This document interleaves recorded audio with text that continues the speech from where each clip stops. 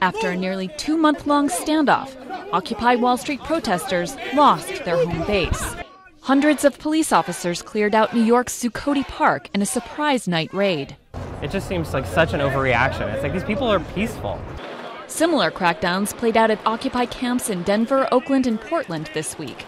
City mayors called it a necessary move to restore public health and safety. But protesters at camps across the country, like here in Washington, D.C., say they'll keep the movement alive. Our strategy is to occupy, reoccupy, and reoccupy.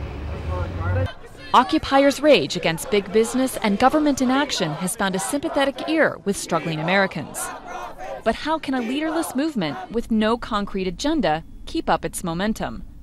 A movement has to decide that it's going to make alliances with some people in power, whether they're politicians or union leaders or uh, even people in business, um, because those are the people who have, have the money, those are the people who have the ability to pass legislation, uh, those are the people who really can make the changes.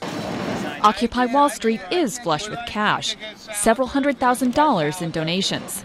Celebrities and high profile politicians like Jesse Jackson have lent their support.